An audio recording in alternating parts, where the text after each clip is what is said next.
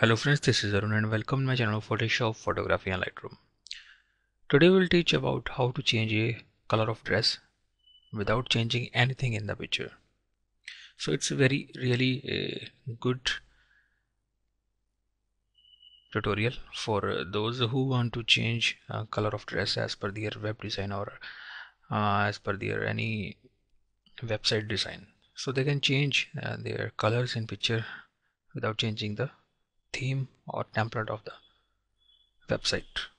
So go to adjustment layer then uh, choose hue and saturation. In this dialog box we will get here master. Click on here then click to magentas now I will take a sample in the image. Click plus sample. Click. Take a sample of dark part at this image. Now move your slider. Hue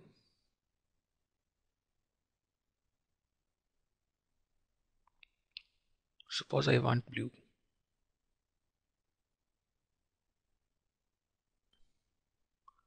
And we can adjust the range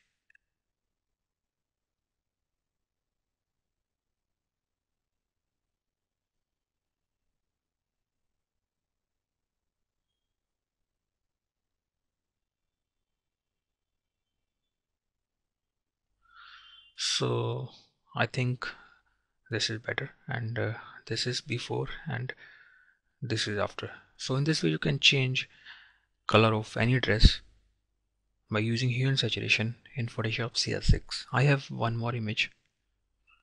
So I will go to adjustment layer then uh, go to hue and saturation. Again uh, this is green color so I will choose green color then I will take a sample in the image. Now move, move your slider as you want. Suppose I want red. Some saturation high.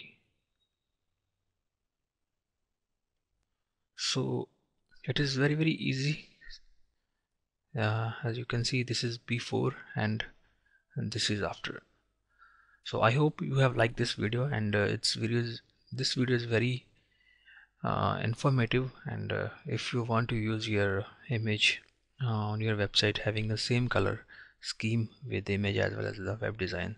So in this way you can change the color of your dress. Thank you friends for watching this video. Keep watching Arunz Creation and please subscribe my channel